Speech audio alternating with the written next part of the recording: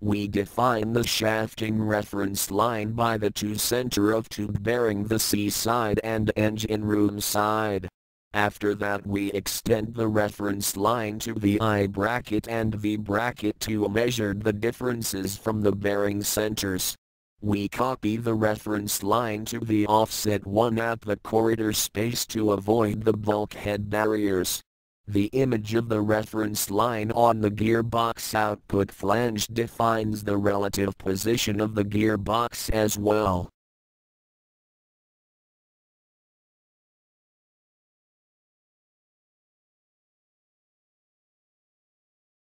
We define the shafting reference line by the two center of tube bearing the sea side and engine room side. After that we extend the reference line to the I bracket and V bracket to measure the differences from the bearing centers. We copy the reference line to the offset one at the corridor space to avoid the bulkhead barriers.